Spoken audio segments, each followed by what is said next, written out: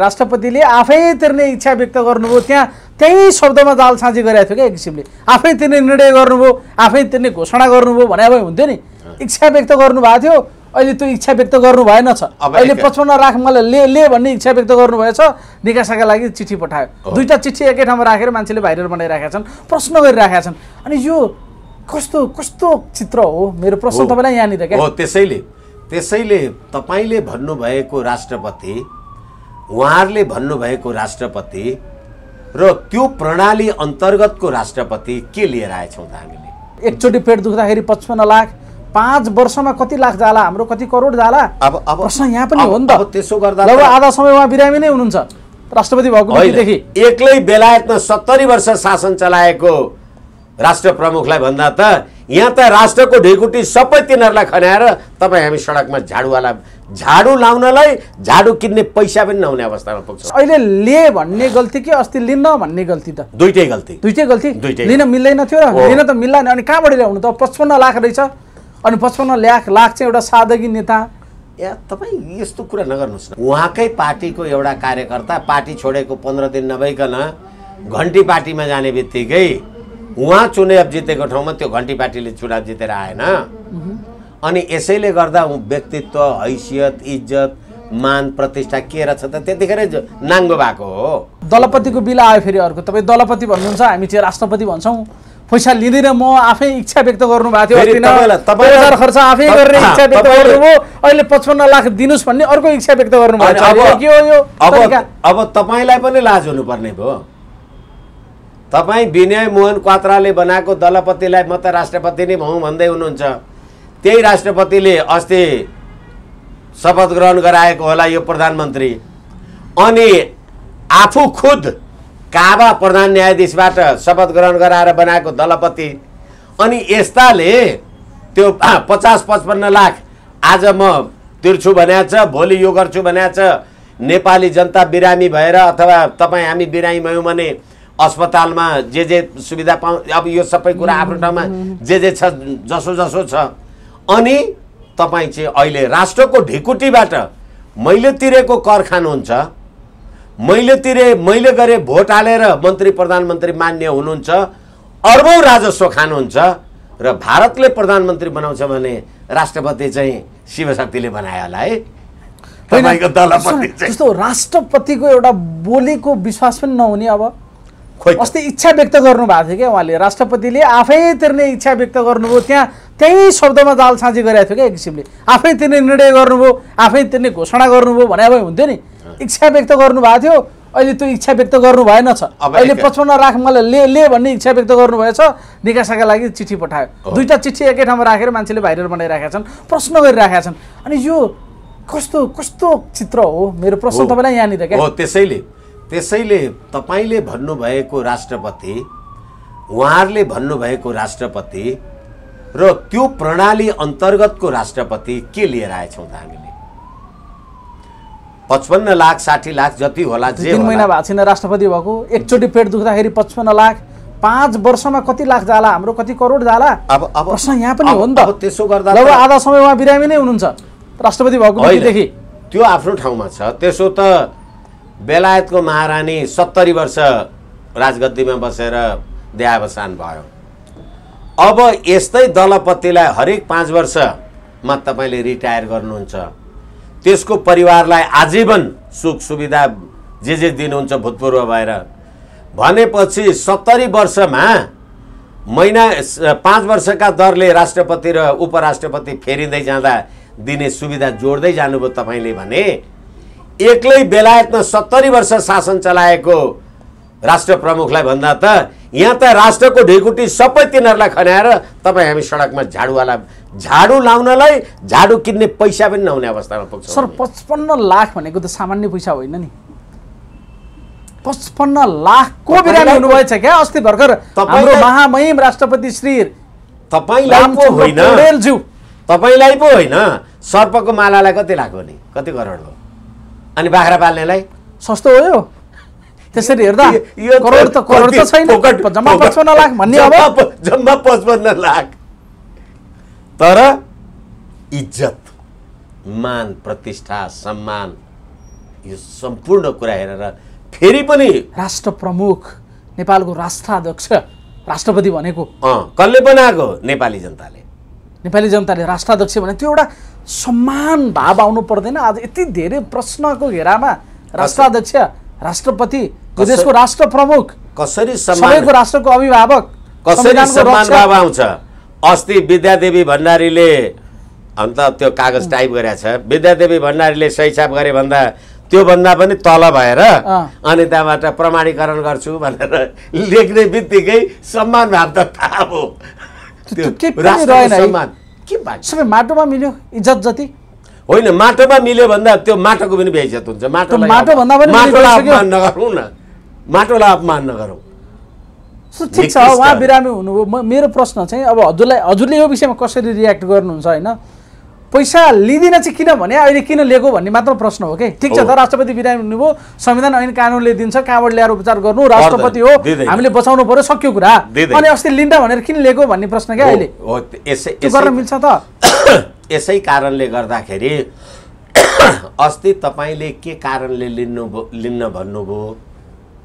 अहिले तपाईँले के कारणले लिन्छु भनेर भन्नुभयो भनेर कसैले सोध्यो? अब हामी जे कुरा गरिरहेका छौँ अहिले। र तपाईँलाई त्यो एउटा कुरा भन्छ कि? सन्तोषी बाहुन ए असन्तोषी बाहुन सन्तोषी राजा लजाउने बेस्या नलजाउने गृहिणी चारैवटा काम लाग्दैन। भनेर विदुर नीतिमा भनिन्छ। मैले यो कुरा तपाईँलाई किन भने भने राज्य सत्तामा तपाईँ बस्नु भएपछि पानी पर्यो र बाढी ताडी आयो आदि इत्यादि सरकारले केही गरेन भने तपाईँकै आलोचना हुन्छ। अब फेरि पानी रह्यो जनता चुप लाग्ला भने लो खडेरी आइसक्यो पानी पिउन पाएन सरकारले एक लोटा पानी पनि पिउन दिए तपाईँकै आलोचना भ्यागुताको पूजा भएको होइन त। भर्खरै पानी एकछिन मै मैले एउटा सिम्बलिक कुरा गर्दैछु। भन्नुको अर्थ जनता खुसी पारेर राज्य सत्ता चलाउनलाई विष पिएर अमृत ओकल्नु सरह हो। तपाईँ राज्य सत्ताको सम्मानित पदमा रहेको मान्छेले यी नेपाली जनताले तिरेको कर ट्याक्सलाई जुन रूपमा तपाईँले अप्चलन र बेइमानी गर्नुभयो तपाईँ जस्ता निकृष्ट घटिया चरित्रका मान्छेहरू राष्ट्र प्रमुख हुने अहिले भर्खरै हामीले कुरा एक राउन्ड कुरा गऱ्यौँ यस्ता चरित्रका मान्छे प्रधानमन्त्री हुने अनि सम्पूर्ण देशको राजस्व साँच्चै भन्ने हो भने त यी चाहिँ सत्तरी बहत्तर पचहत्तर काटेका वृद्ध वृद्धहरूलाई पाल्दैखेरि नेपाली जनताको राजस्व समाप्त भएर जाने अनि तपाईँहरूलाई लाज घिन शरम केही नहुने भनेपछि यो पतितहरूको राज्य व्यवस्था रहेछ पतनोन्मुख चरित्रको अभिव्यक्ति भयो। त्यो अस्ति नै त्यसो भए अहिले लिए भन्ने गल्ती कि अस्ति लिन्न भन्ने गल्ती त? दुइटै गल्ती। दुइटै गल्ती? दुइटै। लिन मिल्दैन थियो र। लिन त मिल्दैन अनि कहाँबाट ल्याउनु त? पचपन्न लाख रहेछ। अनि पचपन्न लाख लाख चाहिँ एउटा सादगी नेता या तपाईँ यस्तो कुरा नगर्नुहोस् न। कहाँबाट ल्याएर थियो रामचन्द्र तपाईँ-। चाहिँ राष्ट्रपति हुनुभयो पचपन्न लाख। अनि अर्को नेपाली जनता चाहिँ राष्ट्रपति भएन। उसलाई चाहिँ सिटामल खान नपाएर उसलाई चाहिँ नि होइन उसलाई चाहिँ नि त ऊ नेपाली हो कि होइन? यसै कारणले गर्दाखेरि होइन भने राज्य सत्तामा रहेका वर्तमान र भूतपूर्वहरूले मलाई लाग्छ पाँच सात वर्षको अवधिमा बिसौँ पचासौँ अर्ब राष्ट्रकोषबाट ढेकुटीबाट खान्छन् होइन? नेपाली जनता बोल्छन् अहिले यही यही पचास लाखवाला प्रकरणमा कोही बोल्छ? उयो अघि तपाईँले भने जस्तो अहिले तपाईँ हामी। बोलेका छौँ जनतालाई सुसु होइन व्यापक विरोध भएको छ नि सर। पचपन्न लाखको काण्डको त धेरै विरोध भएको छ नि। तर बोलेका छन् नि मान्छेहरू बोलेका छन् विरोध जनाएका छन्। दुईटा दुईटा त्यो विज्ञप्तिलाई दुईतिर राखेर हेरेका छन्। एउटा निकासामा आएको एउटा लिन्न भन्ने इच्छा व्यक्त भएको। दुईतिर राखेर व्यापक विरोध छ। म मैले हेरेँ। तर के हो भनेदेखि यो फेरि गर्दा गर्दै यो भारतसँगै पैँचो लिएको शब्द ऊ भन्नु पर्ला। यो लातौँ के कुत्ता बातौँ से नै मान्ती भने जस्तो नि। तपाईँ भद्र भलादमी र शिष्ट हुनुहुन्छ भने होइन आदरणीय मित्र यो गर्नु ठिक भएन बन्द गरौँ। भन्यो भने तपाईँ मान्नुहुन्छ। तर तपाईँ निकृष्ट र धूर्त हुनुहुन्छ भने यो नगरौँ भने तँ कोस् मलाई नगर भन्ने? भनेर तपाईँ झगडा गर्न आउनुहुन्छ। त्यो चरित्रमा भर पर्छ। यी कस्ता चरित्र रहेछन्? हाम्रा राजनैतिक दलहरू। अहिले खान्न भने अहिले खान्छु। त्यही त बरु अस्ति नै चुप लाएर बसेको भए त केही पनि नभनेको भए ठिक छ बिरामी भयो पैसा रहन्छ सरकारले दियो एउटा कुरा हुन्थ्यो नि त। होइन, त्यतिखेर चाहिँ म लिँदिनँ इच्छा व्यक्त गर्नुभयो त्यो इच्छा सिद्धियो आज आएर। कस्तो इच्छा व्यक्त गर्नुभयो? अनि नेपालको राष्ट्र प्रमुख यति पात कुरा गर्छ भने कसरी पत्याउने भन्ने प्रश्न हो विश्वास कहाँ रह्यो र भन्ने प्रश्न क्या? हामीले प्रधानमन्त्रीको कुरा गऱ्यौँ। त्यही प्रधानमन्त्री भएको देशको राष्ट्र प्रमुख होइन यो। भनेपछि कुन चाहिँ ठिक भयो त? सबै उस्तै रहेछ। सबै बिकाउ सबै लोभी पापी लुटा भ्रष्ट अपराधी। होइन भनेदेखि त यो रामचन्द्र पौडेललाई चाहिँ भ्रष्टाचारको मुद्दा किन नलाग्ने नि आज लिन्न मलाई चाहिँदैन भन्ने भोलि राष्ट्रकोषबाट पचपन्न भ्रष्टाचारकै मुद्दा लगाउनु पर्ने विषय हो राष्ट्रकोषबाट गएर सम्पत्ति लिन्न भने होइन तपाईँले। तपाईँले लिन्न भनेको कागज कहिले बदर भयो सदर छ? कायम छ? लिँदै भने होइन नलिने इच्छा मात्र व्यक्त गरे हो अहिले गर्नु भएन नि त उहाँले इच्छा। त्यो बेलामा इच्छा व्यक्त गर्नु भएको थियो अहिले इच्छा व्यक्त गर्नु भएन। हो अब तपाईँको इच्छाले चल्ने हो राज्य राष्ट्र देश। यसै कारणले गर्दाखेरि निकृष्टहरूको राज्य सत्ता पैसाले किन्न नसकिने पचपन्न लाखभन्दा ठुलो इज्जत गयो नि त। गएन र एक किसिमले हेर्ने हो नि त। पचपन्न लाखमा आउने इज्जत हो र त्यो अब जस जसले पैसासँग इज्जतको तुलना गर्छ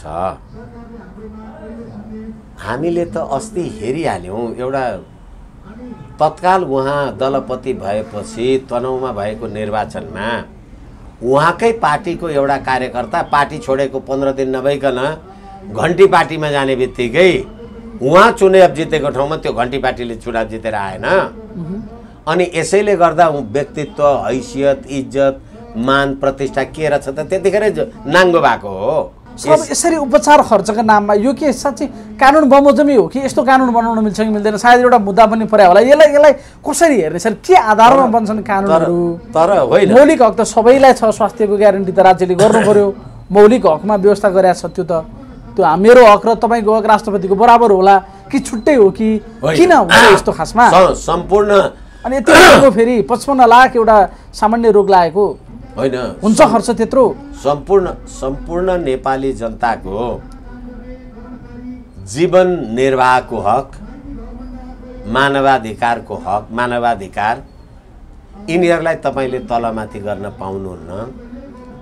र तपाईँले मन्त्री परिषदको बैठक बसेर मन्त्री परिषदको नीतिगत निर्णयको बैठक सैठक अदालतमा प्रश्न उठाउन पाइँदैन पार्लियामेन्टको उठाउन जे जे भन्नुहोस्। तर तपाईँले खुरुखुरु मन्त्री परिषदको बैठक बसेर जति जति मन लाग्यो त्यति त्यति बाँड्न पाउनुहुन्छ। मन्त्री परिषदले आफ्नो नियमावली आफै नै बनाउँछ। भनेपछि जसले जति लुटे पनि भएको छ नि त। सक्नेले लुट्ने भन्ने नै देखियो होइन त अहिले यो कुरा। हेर्दाखेरि सक- सक्नेले लुट्ने भन्ने। देखा पर्यो सक्नेले लुट्ने। हस् थ्याङ्क यू सर हस् थ्याङ्क यू